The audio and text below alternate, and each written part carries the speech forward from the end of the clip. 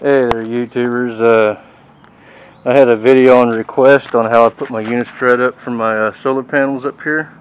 As you can tell I'm expanding it there. Alright, I'm going to show you how it's done. Alright, get some Unistrut like this that you're needing to use. They come in 10 foot lengths.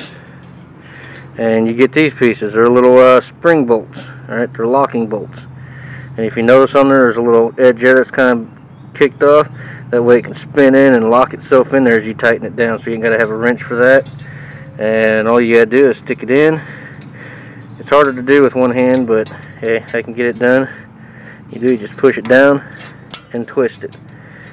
And you know, it locks in there.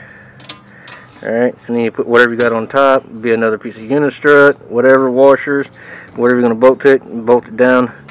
That holds that in there. Alright. And going to show you what I'm doing. I've got some of those in my pocket. Alright, we're going to go up top. Go up top here. Alright, show you what I've been doing. Got my tools up here. Alright. Now there's no roof on top of this as you can tell. Alright. There's no roof. I just got everything bolted to the top. Alright, and I'll show you this piece of unit unistrut I've got. And if you look down in there, you'll see a bolt with a washer, and there's a washer underneath, a big flat washer. There's a washer here, and there's a little small galvanized standoff there. Now, if you're doing a roof, you want to do the same thing. That way you can keep it, you know, you're putting it on the roof, keep it above the roof. I mean, you don't have to do this if this is sitting on the ground or whatever, or if you build a wooden frame then set this on the frame. You still want something to keep the metal really from the wood. Plus it gives you some clearance. There's some clearance. But I've got four of those on there on each end. And then when I was showing you earlier with the uh, lock nuts here, spring nuts, and everything's bolted into it. And it holds this piece of angle bracket where that piece goes up. Custom bend these pieces, bolted and bolted. Alright, I'll be back when I get this piece up there. Alright, there you guys go. There's some more of it done. It's all the way over. Alright, I'll go up there and I'll show you how I got that stuff connected. Alright. Okay, YouTuber guys, now that we're up here, I'm going to show you some other things I've got done. Alright, here's where I got two pieces joined together. You know, I got two bolts and screws on both sides there. Alright, let's show you some other things.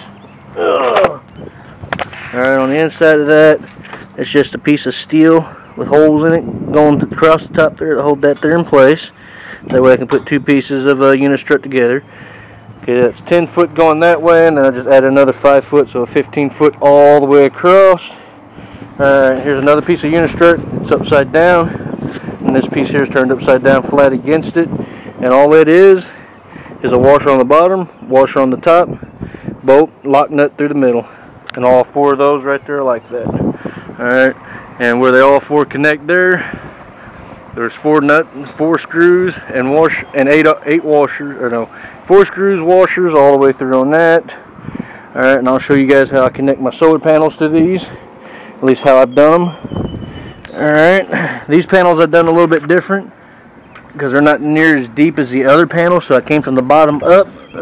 There's a hole already in the solar panels, so I just put the screw through, lock nut, washer on the top, and then tightened her down where the panel connects to the unistrut.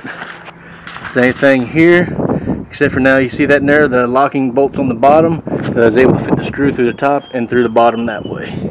Alright, and all six of those are done that way.